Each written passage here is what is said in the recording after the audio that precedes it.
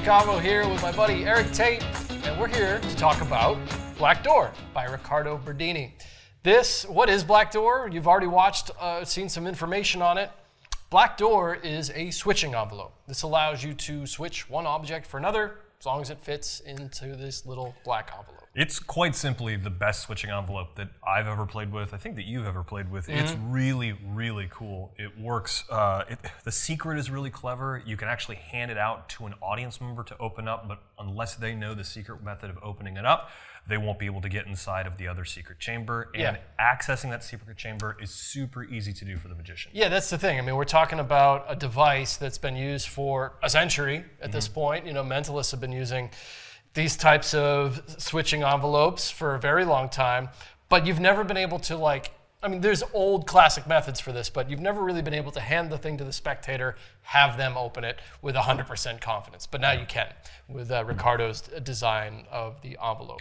Let's take a look inside at what you get because Mm-hmm. you do get this really cool little uh, packaging here that we have. That's uh, it's got the P3 logo on the back and the, the logo for on the front. And when it opens up, uh, there are instructions printed at the top. But you get two of these envelopes, which Mm-hmm. are really nice. And the packaging is really nice too. I actually I have a couple of these uh, that I use in my show, and I use this envelope to store it in my case. This Yeah. packaging to store the envelopes in my case so that these don't get bent or wrinkled or Right. anything. I same here. I, Yeah.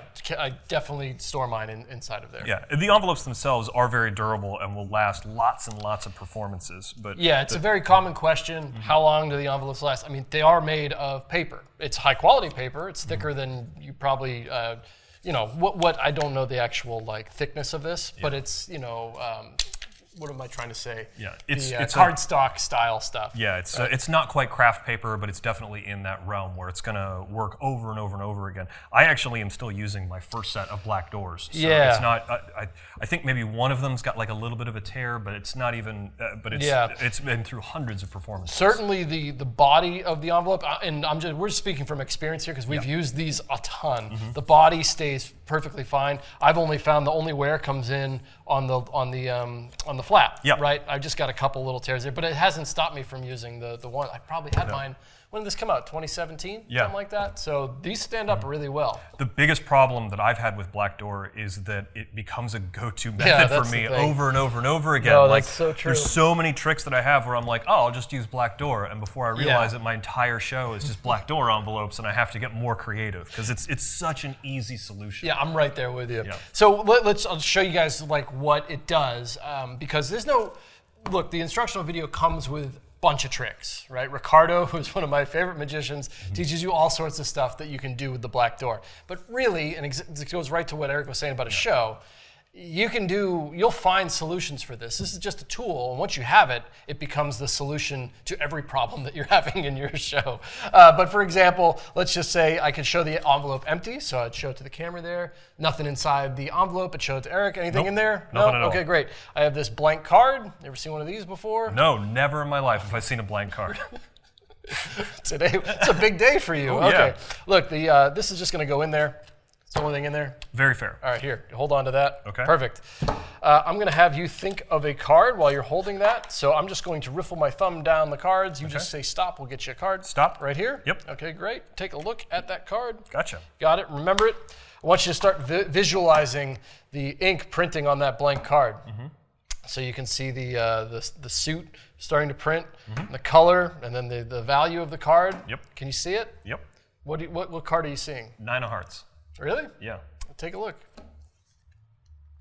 So notice how the spectator can open the envelope here, and they get the, the nine, Nine hearts. hearts. And of course, you can show there's nothing else inside the envelope. Yeah, I, I really can. Right. You know, I'm not. This is exactly the way uh, a, a, a normal lay person would open it up, Yeah, and and uh, they would they would go in there. there- there's no there's no way. I mean, yes, they could open the other chamber, but you'd have to know that it ever even existed in the first Yeah, place. I mean, it's right? it's it's really you really do have to know. So I can just pull this out. I happen to know the secret here, but you can see that the way I open that up, you could go back and rewind this video over and over again. Unless you could tell exactly what I was doing, Mm-hmm. you wouldn't know what to look for in opening up the second chamber. And that's the that's the beauty of these envelopes Yeah. because I, I did mention that there are methods for this in the past, but typically those are envelopes that you'd have to get rid of every performance if you were going to do something like this.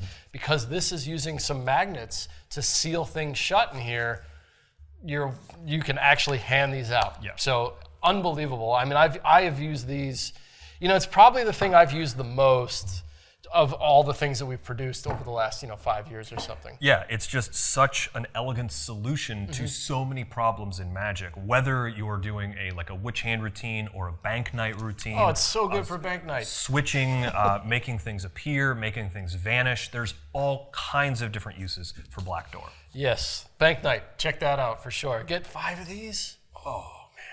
Oh, Yeah. it's too good. No, It's no too good. sliding things around. No secretly getting things in and out of envelopes. You just just hand them out and go for it. We've talked enough. I think so. Black Door. We'll see you guys next time.